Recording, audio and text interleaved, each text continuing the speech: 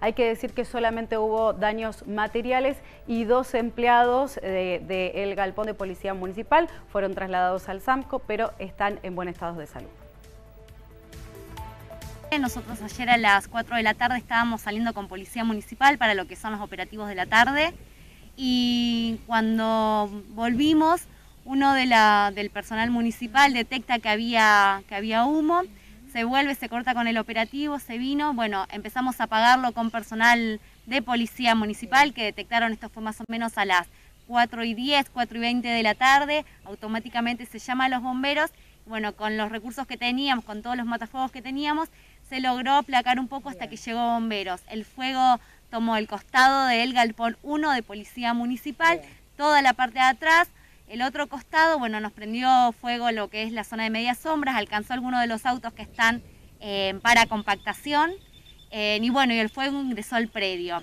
Estuvimos más o menos más de una hora trabajando para poder aplacar el fuego y a la noche eh, nuevamente vimos humo y actuó gracias a, la activa participación del personal de adicional que estaba y del personal municipal que quedó a la noche porque estamos con la segunda parte de lo que va a ser la compactación entonces tenemos personal también de noche cuidando, detectaron el humo. Esto en el corralón sería. Esto es acá en el corralón de Policía Municipal, 4 de enero y Tucumán.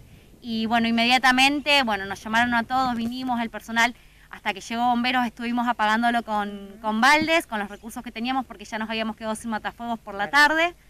Eh, y bueno, hasta la pasada la una de la mañana estuvimos tratando de sofocar el fuego.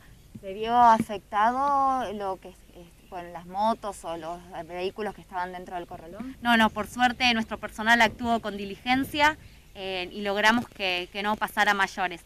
Asimismo, tomó intervención la subcomisaría 15, tanto a la tarde como a la noche estuvieron presentes, tomaron testimonio a los vecinos del barrio. Eh, y bueno, más o menos por lo que nos dijeron, esto podría haber iniciado por una quema de un microbasural, de un pequeño basural, en qué se extendió hasta aquí. Le pedimos por favor a la ciudadanía, que también nos pedía la gente de bomberos, que dejemos de tener esta práctica. Hay alrededor de 30 incendios por día, eh, no solamente en lo que es la ciudad, sino en lo que es la ciudad de Santa Fe y alrededores.